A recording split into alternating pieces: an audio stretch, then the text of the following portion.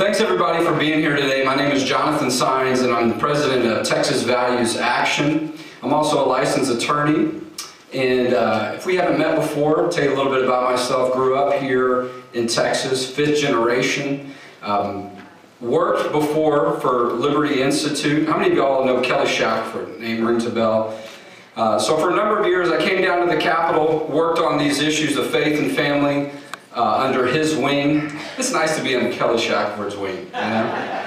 Uh, but we're so involved in the work, and we started to see a need to really impact the state at a very focused level. And so Liberty Institute litigates religious liberty cases and primarily, and so as they saw more attacks on religious freedom across the country, they began to get concerned and, and, work on cases outside of the state. And so we began to get concerned here at our Austin office about the impact and the issues that we were seeing at the local level. And what do you know? Um, what, look at what's happened in the past year and a half. So Texas Values started about two years ago. And then about a year ago, we started an organization called Texas Values Action. So we could be more aggressive and more impactful uh, on issues affecting people on faith, family, and freedom, and right here at the Capitol, and in the local communities.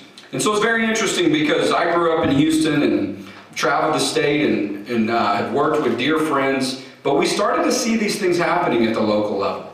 Um, and, and so many of us that have worked at the Capitol understand the influence and the impact that you can have when you get involved. And so a lot of people are involved in statewide election issues and state policy issues. Uh, a lot of great leaders that are here today. Uh, but we started to notice signs of things happening at the local level that were very concerned, but with really not much of an ability to engage. Because as you heard Dave mention, when you try to engage in these efforts in all these cities across the state and some of our larger cities, um, you know, that can take a lot of work. You know, if you uh, take a look at my car outside and, and, the condition of my tires and so on, um, it'll bring that to light. You try to travel the state and cover all these issues, it will wear on you. And that's what the other side's trying to do. They're trying to split us up. But what we recognized is that what happens at the local level is incredibly important. And, it, and for some of the folks, it's a way for them to undermine what the values of our state are. And that's why we call our organization Texas Values, because we believe, as you do, that those values are faith, family, and freedom. And they always have been. We heard Governor Abbott talk earlier about a historic day today. Travis and the Alamo. They were fighting for faith, family, and freedom that day. They were inside of a religious building as they were fighting for freedom in the future, if you will, of the state of Texas. So these are values that our state has always cared about and always been defined by. But for a number of years, people have tried to reclaim that and say that uh, the values of Texas mean something different. And so I have been litigating cases and working on policy issues going back all the way to 2005. Um, and so, you know, oftentimes, you know, you lead an organization or you work on court cases and, you know, you talk to the media and people think, you know, you've got this power at your hands. And, you know, of course, you know, they almost may think it's easier to take a stand because you've got resources and you've got staff and you've got a platform. And, um, but I know what it's like to be that individual fighting for life and religious freedom with really very little, if no resources at my disposal. I know what it's like to sit in the, the chairs that you're sitting in, to be in your community. When someone threatens your religious liberty rights or doesn't allow you to speak, and the government is trying to oppress you, and you're wondering, what can I do? And you feel the will of the people in the community coming against you. And that is enormous pressure. So I want to share with you all when I was a student at the University of Houston Law Center is really when I began getting involved in this type of work. So at the University of Houston Law Center, there was a pro-life group there called Pro-Life Cougars. And the University of Houston was being so restrictive to their free speech rights and had threatened people and intimidated them that they had dwindled down to one member. That member happened to somehow know of me or heard of me. I'm, I don't know you know, that I had quite the reputation that I do today, if you will. uh, the legacy, whatever you want to call it. Uh, I, I, but for some reason, she was aware of who I was. I was another student, but I had expressed to people an interest in pro-life work, and, and it had been something that I had cared about for quite a long time. And as a matter of fact, one of the reasons I went to law school was to have an opportunity, maybe someday, to be an advocate. Maybe just one case. Maybe I could work on one case. Maybe I could work on one piece of legislation and make a difference. Um, and, and, so uh, a good friend of mine, Matt Staver of Liberty Counsel, wrote a book about these issues that we work on, and uh, he brought to my attention a Bible verse from Proverbs. And it says, He who presents his case first seems right until someone steps forth to challenge him. And those men like Matt Staver and Jay Sekulow that I used to listen to when I was driving in my truck around Austin as an undergrad and University of Houston inspired me because I knew we were going to need a next generation. Pioneers like Kelly Shackelford and Cathie Adams and Jay Sekulow um, and Matt Staver, these people that um, have been doing this for decades, we're going to need somebody to step forward. And so when this young lady contacted me and asked me if I was pro-life and if I was a lawyer or a law student at the University, yes, and you know, I heard you were interested in these kind of issues, and I said, absolutely. I've heard that you know there's been some concern about the group, and because I wasn't connected with them at that point, it was primarily an undergraduate group. And she said, "Yeah, I'm graduating. Will you take over the case and take over the group?" And I said, "Well, um, okay, I'll certainly consider that. How many members of the group are there?" And it's just me. So I'm going to become the president of the organization and you know lead this this lawsuit and so on.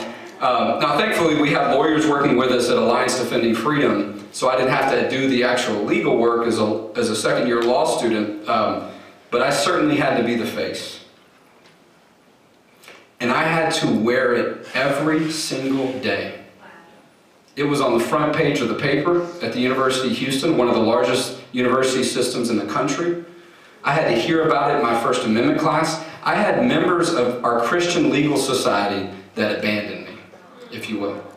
Refused to stand with us on that issue. If you've seen the movie God's Not Dead, maybe y'all seen that movie, in the credits there's a reference to that case, and you think about some of the things that happened. And I'm just sharing this with you because I want you to know I know what it's like to be really someone of insignificance, but feel that tap on your shoulder and really just try to follow God's direction. So as a result of that, um, more people did find out who I was, and we stood firm. And the reasons that we had the pro-life group and we stood for innocent human life, and we used that as a basis of our religious beliefs and free speech beliefs in order to do that, was because we cared about these issues and we knew it would impact somebody else. But I will tell you, there were moments where I felt like my legal career and my future were literally on the line. And I chose to risk it in the name of free speech and constitutional rights and life and religious freedom, and we won.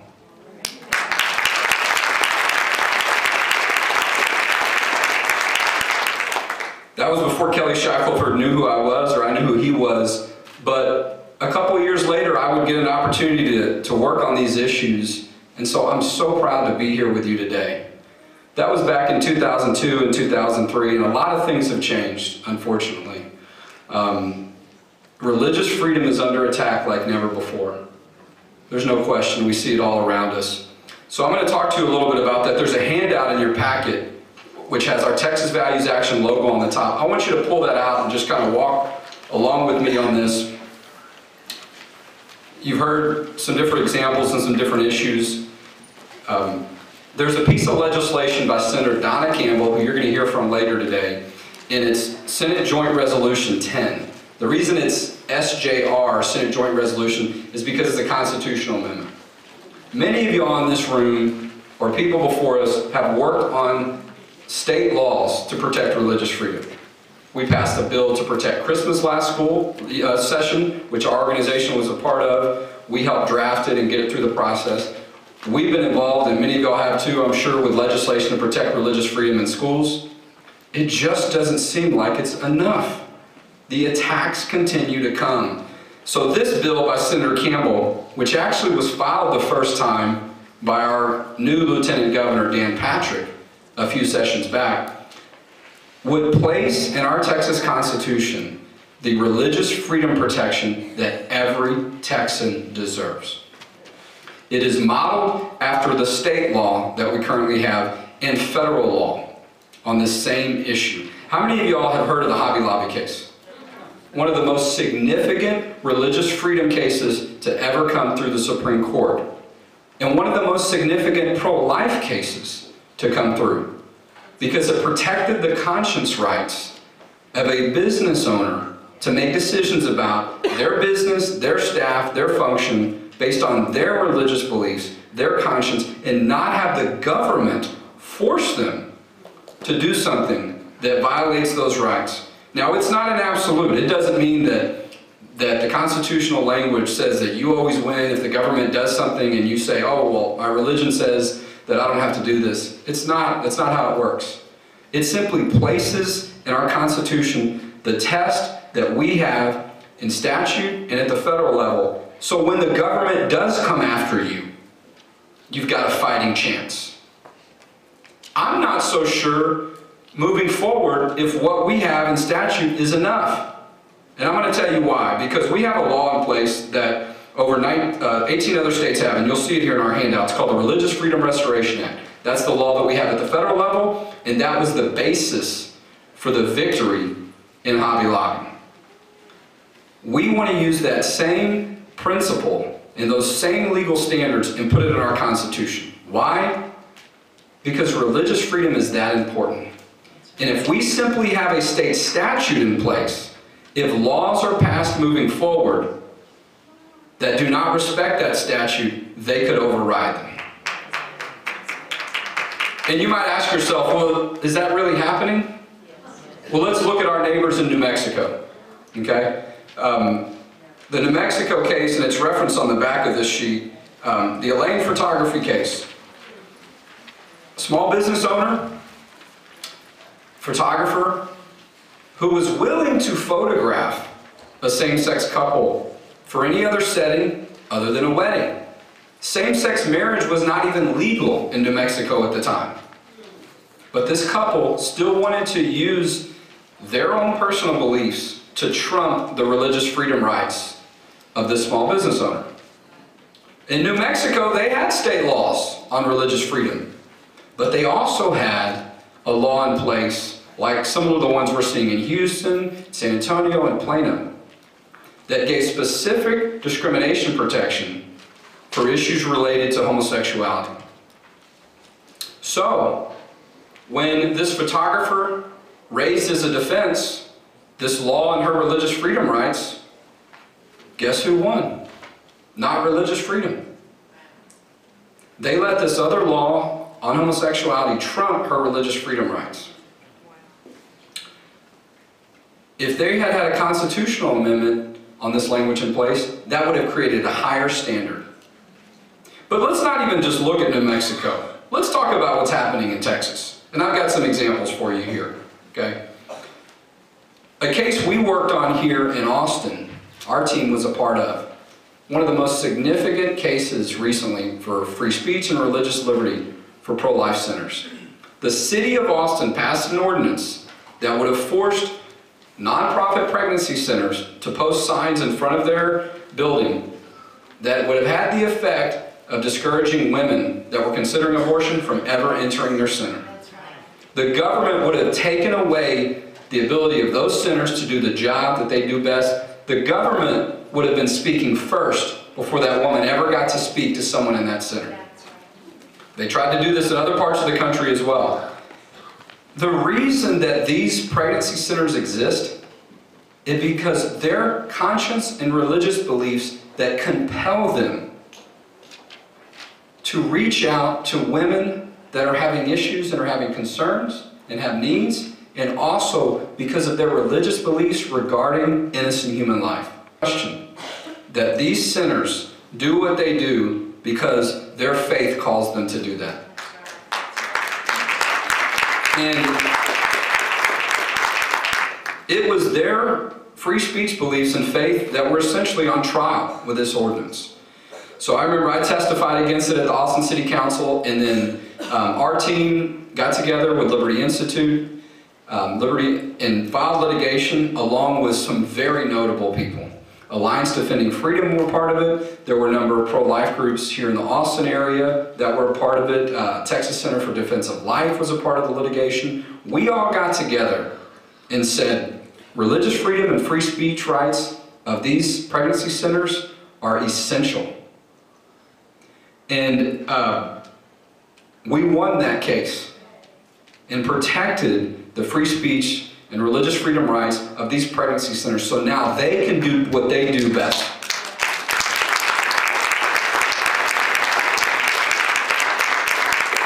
But just like my case, right, you see the, the credits roll on God's Not Dead. Oh, pro-life cougars versus the University of Houston and, you know, Austin Pregnancy Centers versus the City of Austin. And you see these victories and you think, oh yeah, great, we won. But you don't always hear the story that I told you about the University of Houston. The years that it took to get there, the doubt that creeps in, the money that is spent.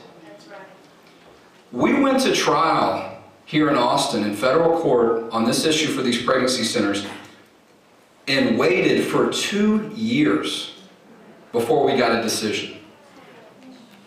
If you run a pregnancy center, that's not what you should be worried about. Day after day after day thinking about that. Now, thankfully, I feel like with the legal team we put together, they did feel confident that we were going to win. And we had uh, former Texas Supreme Court Justice Raul Gonzalez was on our team. Um, one of the finest um, Catholic men and, and religious freedom and pro-life lawyers there are um, and a number of other all-stars that were part of what we were doing. So, but that's a long time. You see some of these other examples. I mean, these cheerleaders, right? The Kountze cheerleaders. That litigation, I think pieces of it are still going on. Okay? There's cases that go on for almost decades. We passed a Merry Christmas law during a time period where there's still a court case from a kid from Plano who just wanted to pass out pens to talk about the Christmas issue from the perspective of Jesus. That case is still going on, even though there's been a new law passed in the meantime. This valedictorian from Medina Valley, which is west of San Antonio, her name is Angela Hildebrand. Um, you're either going to be able to hear from her or her father during testimony for SJR 10 by Donna Campbell. Her father testified last time on this legislation because what he and his family and his daughter had to go through to get to victory was quite extraordinary, but quite significant. And we can't always be certain that people are going to be that courageous. But I was a part of a team that represented Angela Hildebrand when she simply wanted to give her valedictorian, valedictorian speech and talk about what compelled and what led to her being successful and being the top student. In Texas, that was an issue. So there were people in that community that challenged her on that issue, and federal court got involved, and a federal judge issued a decision and said that if she prayed, or if she even said the word prayer, she would be incarcerated. That means she would go to jail for saying a prayer. Can you imagine being under that kind of pressure in the state of Texas, being a teenager? Would you follow through? I mean, do we have confidence? I mean, is that what we have to do in our state? We have to be able, every time this happens, to put everything we believe in, our academic career, our business. We've had clients who their businesses were on the line. Their complete livelihood on the line just for religious freedom? That's where things have gotten to now. As you heard General Abbott talk about, that case was ultimately successful after lawyers appealed the decision and the Fifth Circuit stepped in. You heard Dave talk about what's happened with the, the Houston Five pastors. Yeah. And Ted Cruz showing up to the battle certainly helps. All right? Uh, that, and I think he's going to have some representatives from his office here later. Um, I know that General Abbott at the time was very supportive, now governor. I'm sure Ken Paxton would be on the same team. we've got great leaders that will step up. Um, and I remember I was at that press conference in Houston. You know, having been born and raised in Houston, one of the best moments of my life. But you know, I was also standing on the football field when Angela Hildebrand gave her valedictorian address. And there were police officers at the top of the football field with binoculars and with, with their weapons because there was so much media scrutiny and tension in that community that there was a real concern about the safety not only of her as she stood right in the middle of that field, but the people in that audience. And I remember what that felt like when I was a student at the University of Houston. Those are real threats. Those are real concerns that most people typically will not follow through with and be able to handle because of the type of pressure that you're under when you're outspent and outmanned by the government. Um, so we look at these cases. I mean, I got another example here for you. Recently, it's not on the list, um, a group of, of Jewish folks in the Dallas-Fort Worth area that simply wanted to meet at their home. And um, you had government officials not allowing them to do it, wanting to enforce some type of absurd zoning regulations on these issues. These cases come up over and over again. Just before Passover, this group wanted to meet, and their ability to simply meet at a private home was being challenged. And you might think, is that what the other side really wants? That's exactly what they want. There was a conference held here earlier this session that the ACLU and Texas Freedom Network were a part of. And we happened to have a staff member that was in attendance at their meeting. And that's what they talked about. They said groups that have these type of meetings at their home should not be allowed. That that is not religious freedom. That that is actually what they need to fight against. You know, because they might have too many cars on the street.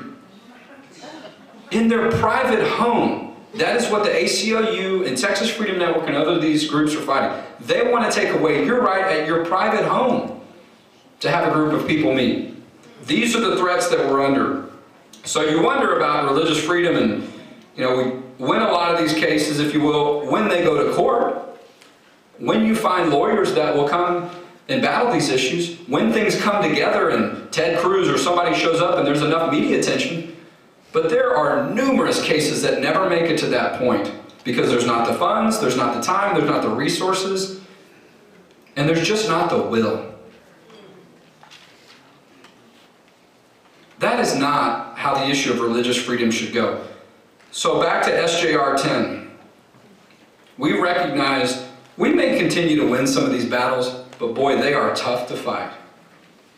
You know, and you have people like Paxton and Abbott and some of our great leaders, Ted Cruz. But while there's so much attention on this issue and so much legitimate concern about the threats to religious freedom, the time is now to do something lasting. When you put this type of religious freedom protection in the state constitution, that is a significant step forward in something that may actually create a legacy that we can count on for decades to come in our state. That's why we're pushing so hard for SJR 10, and there's a similar bill in the House, HJR 55. The language is, is a little bit different, but has similar goals. Um, with the type of people that have been elected in our state, we have the opportunity to do this this session. We must do it this session. We know that Senator Patrick, excuse me, Lieutenant Governor Patrick, when he was a senator, filed this piece of legislation. So we have strong confidence. We've had this bill go through the legislative process before, and the reason that didn't pass last time was because people that were the chairs of these committees in the Senate refused to let it go forward. And the same in the House. The votes were there. This bill went to the floor in 2011, another version of it. And you had a confusion. You had a Democratic lawmaker who said that he was going to support the bill, but then go on the floor and, and say all kinds of things to suggest that there were problems with the bill and, and essentially undermine the whole effort. He's not in the legislature anymore.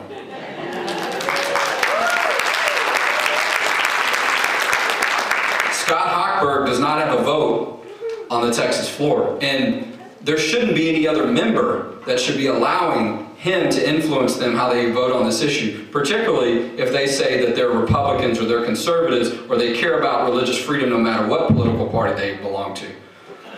This issue is right for us to do something this session. And when you have Lieutenant Governor Patrick in the Senate, there's every expectation that we have the ability to do it.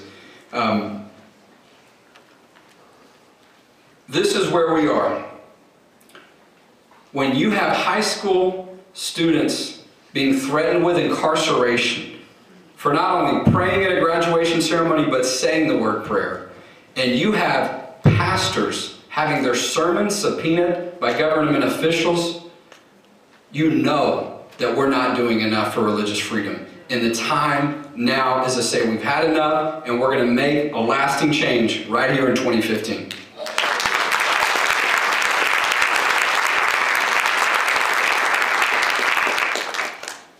And I seem to be allowed to speak a little bit longer because some of the other speakers went uh, were, were better with their time. So I'm not going to keep you um, all the way to lunch. Uh, but I've got a few other comments to share with you because this issue is not just about religious freedom. When we look at the issue of marriage, we see it related to religious freedom. When we look at the issue of life, we see it related to religious freedom. So many other issues that we work on are connected to this. Um, at the bottom of this handout, I've got a reference to Cecil Bell's bill, House Bill 623. And Cathie Adams did a fantastic job of talking about that. I want to mention a couple of updates related to it because last week was quite busy on this marriage issue. Um, redefining marriage equals a threat to religious freedom. There is no question. The reason the Houston Five had their pastors' sermons, their excuse me, those pastors had their uh, sermons subpoenaed was because they were talking about the issue of marriage and sexuality from the pulpit. Their religious freedom rights to talk about those issues were certainly threatened.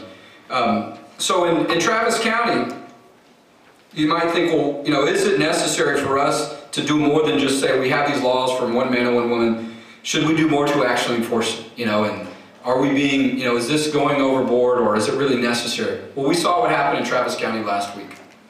Okay, you first had a judge rule that the, the marriage law was unconstitutional, not uncommon for a Travis County judge. That's the only county that didn't vote for marriage out of 254 in 2005. But it went a step further later in the week because another case came up, I think on Wednesday, and the judge just ignored a law that requires the Attorney General's office to get involved. They're supposed to be notified when there's a threat to our constitutional provisions. That was a law that was passed a couple of sessions ago to prevent these kind of issues. And then the judge waived the 72-hour waiting period. I think by 9.30, this couple was, quote-unquote, married in their eyes, which they're not. I mean, the, the, we know that that marriage is void. It's invalid. Why? Because we don't recognize marriage between people of the same sex, just like we don't recognize a marriage of three people together. It's void on its face. It's invalid. This is what they're willing to do. They're willing to go around these rules and not play by our laws because uh, apparently we haven't been strong enough about these issues and about how much we care about them and how we'll enforce them. And that, a case that's, that's really not talked about a lot is one in Houston. Oh, the mayor of Houston, here we are again, Annise Parker. Over a year ago, by executive order, said she was going to recognize marriage licenses of same-sex couples from other states and recognize their marriage for purposes of same-sex benefits. Myself and Jared Woodfill are part of a legal team. This is the first case that I know of in our state where we have sued an elected official, a government official, for recognized same-sex marriage, where that issue has been taken to court. So no one else would take the case. We got together and said it's time to do it. And we did it a year ago and we won.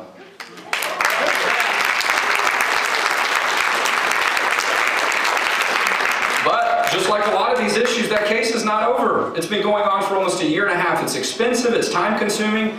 The case has been appealed. They, for, they forced the case to go up to federal court, then we got it back to state court and got an injunction back in place. These elected officials, like the mayor of Houston, the county clerks here in Travis County, Bexar County clerk who says he's a Republican, he says he's ready to issue same-sex marriage licenses. They do not respect the rule of law. So maybe if they have their salaries taken away from them, they will respect the law.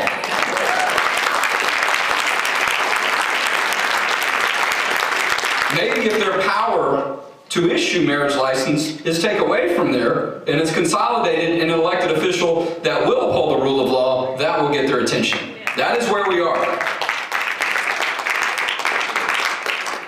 On the back of this, I just want to point you to some talking points as you're going to talk with elected officials that we feel like will help you have better dialogue.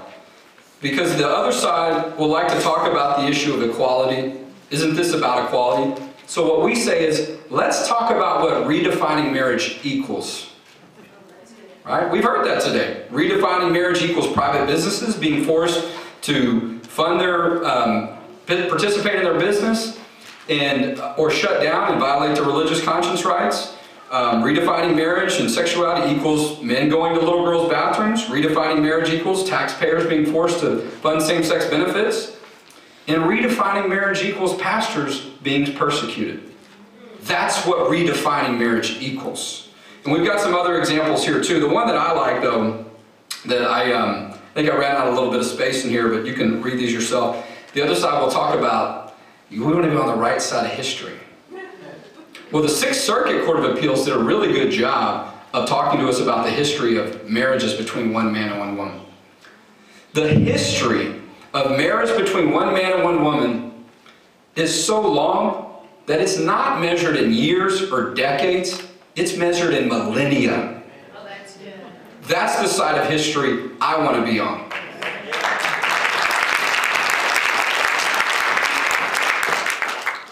So some good talking points there on this issue um, related to this, and you can see how these issues of religious freedom and holding government officials accountable are intertwined. Um, there's a, there's a handout here, you'll see these bill numbers in more detail that looks like this. It's got the Faith and Family Day logo.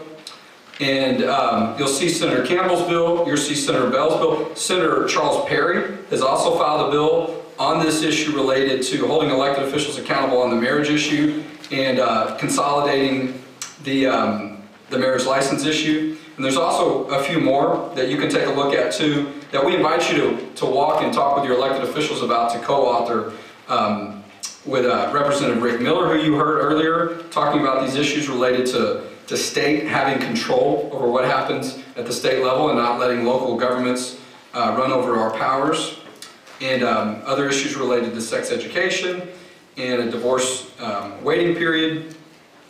I um, also want to, we're, I'm going to close just a second here too. We'll give you some instructions about what happens before the, um, our celebration later. The Preservation Board doesn't want us to call it a rally, just so you know, because they don't want things to get too crazy here. And, and I think y'all probably all heard, we're not going to the South Steps later because of the weather and, and so on. We're going to stay in here. And so, um, but, um, so we'll have some fun. We'll have a celebration. What we're going to do later too is we're going to bring up a cake because we have an important anniversary to celebrate today. Um, it's not quite to the day, but it's close. This year we're celebrating 10 years of our marriage laws and the Constitution being between one man and one woman. So, we've got a, we've got a cake that we're going to have, and we're going to encourage elected officials to take a picture with us with that cake.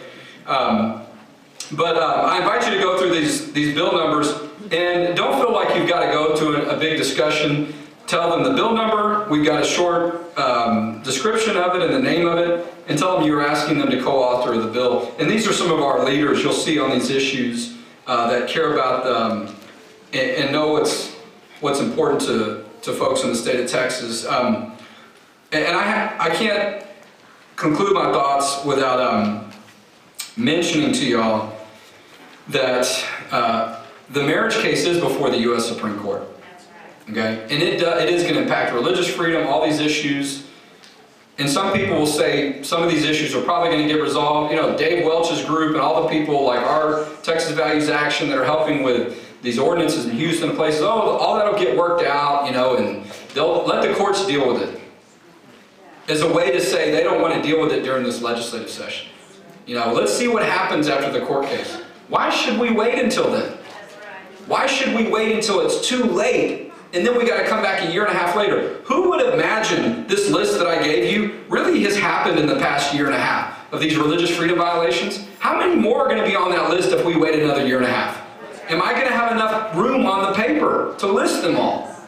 If you could have imagined, we'd be here. So challenge them to do what they're supposed to do right now during this session. This is what they're supposed to do. They're supposed to address these immediate concerns that they're facing right now. And these issues, as you've seen and heard today, are happening right now.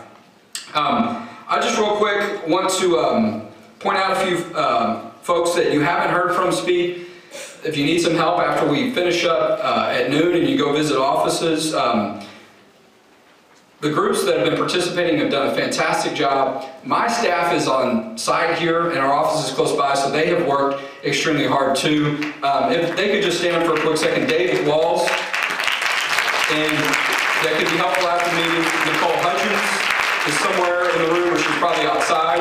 Uh, LaDon Wilson and Becky Conley. So um, had everybody in our office yesterday putting things together, and they were here late, early this morning. We've been working for a couple weeks to get all these things together. So I'm thankful we have um, great staff to do that. Um, so what we're going to do is um, we're going to take a little break here in a minute, and we're going to start back at noon. But I want to give you some specific instructions. We have lunch that's available for folks that have ordered it after the um, 12 to 1 celebration. And so um, if you want to get something between now and then, um, unless Ann's going to keep you up here a little bit longer, don't go far. We want to start promptly at noon, which really means we want you to be back here at 11:45. We want the you know, don't leave at all if you don't have to, okay? We want this crowd here. We want the elected officials when they come in to see so many people here that care about the issue. Um, there will be plenty of time later in today for us to visit offices. We don't want you to start doing that just yet. Um, take the time to, to talk with the people that you spoke to get more instructions on what to do and how to address these issues. Um, also, one of the other things that we're going to do is we're going to reassemble this um, space that has our information about Faith and Family Day and all that. You'll see all that up here. But we're going to bring the cake in here. So if you want to take a picture of this cake that we've designed celebrating 10 years of our marriage law, we encourage you to do that. When we finish with our celebration later, we're going to encourage all the elected officials to come up here and take a picture with our anniversary cake. Um, because we should be celebrating marriage. There is no question. Um, we should be proud that we live in a state where we know we know the impact that divorce has on marriage. We know the impact that redefining marriage has on marriage. We know, as studies continue to show year after year, the model that works best, particularly for children, is when mom and dad are gather, together in a household raising that child and children. That is the gold standard, and it continues to still exist today. So we will be celebrating that law and celebrating marriage uh, later today. And so, um, did you have any other announcements you wanted me to make? And um, so uh, that's going to be exciting. So we've got a great group of people later today. Lieutenant Governor Patrick is going to be towards the end, but we're going to start off with Cecil Bell Jr., who was the one that fired the first shot across the bow on the marriage issue and filed legislation, House Bill 623, to start holding these elected officials accountable that are going rogue on these issues. Um, going to have Konni Burton is going to speak, one of our newest senators, a number of uh, Senator Donna Campbell, a number of great people. So please, if you feel compelled to leave or grab a quick snack, please come back.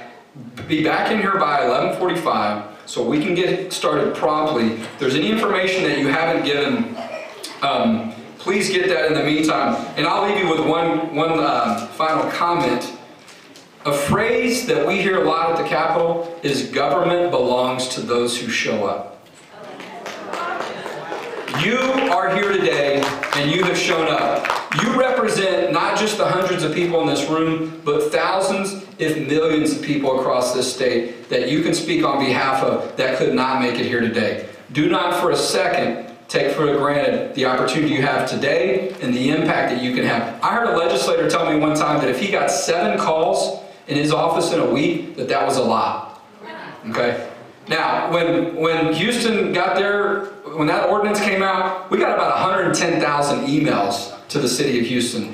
We know these, this group, the people in this room, we know that y'all multiply quite quickly when it comes to the issues you care about and getting the word out. So, um, so stick around. If you need to get a snack, go ahead and do that. Be back here at 1145. Be ready to be inspired and encouraged after you hear these people speak and be ready to go do what Texans do today. Thank you very much.